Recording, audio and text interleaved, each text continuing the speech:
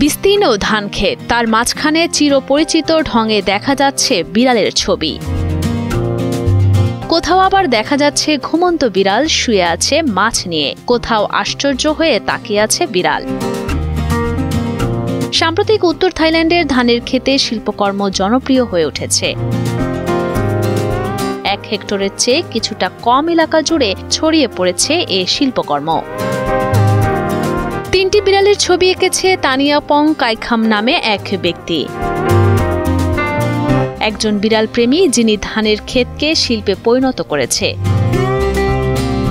October থেকে তিনি থাইল্যান্ডের উত্তরাঞ্চলীয় অঞ্চল চিয়াং রায়ে তার নিজ শহর বান খোনসুংয়ে রেনবো রাইস দিয়ে এ শিল্প তৈরি করেন। রেনবো রাইস ধানের জাতে ধান গাছের পাতা গাঢ় বেগুনি থেকে হলুদ রঙের হয়।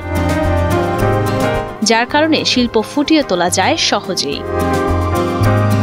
তানিয়াপং মনে করেন এ চ্যালেঞ্জ তাদের কাছে নতুন কিছু নয় আগেও এ ধরনের কাজ করা হয়েছে।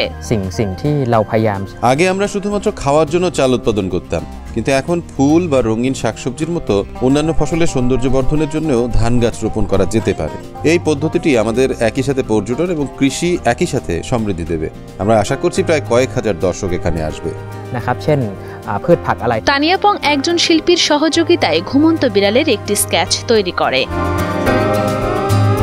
স্কেচ অনুযায়ী প্রায় দুশো জন সাহায্যকারী একটি ড্রোন এবং জিপিএস ব্যবহার করে ধান খেতে একটি ঘুমন্ত বিড়ালের ছবি আঁকে পরবর্তী ধাপে রেইনবো ধানের চারা রোপণ করা হয়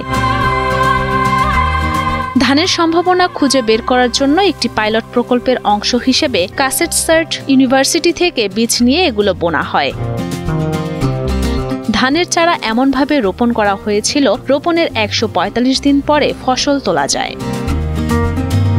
তানিয়াপং জাপানের ট্যাম্বো শিল্প থেকে অনুপ্রাণিত হয়েছিল, যা বিভিন্ন রঙের ধান গাছ ব্যবহার করে ধানের ক্ষেতে তৈরি করা বিস্তারিত নকশার জন্য পরিচিত। তানিয়াপং আশা করেন যে থাইল্যান্ডের অর্থনীতি এবং সমাজ কৃষির উপর ভূমিকা রাখবে এ শিল্প। বর্তমানে তানিয়াপংয়ে শিল্প প্রদর্শন করা হচ্ছে পর্যটন প্রচারের জন্য। তানিয়াপং মনে করেন প্রায় থাইল্যান্ডে যে ত্রিশ শতাংশ বিড়াল প্রেমী আছে, তারা অবশ্যই তার শিল্পের প্রধান দর্শক।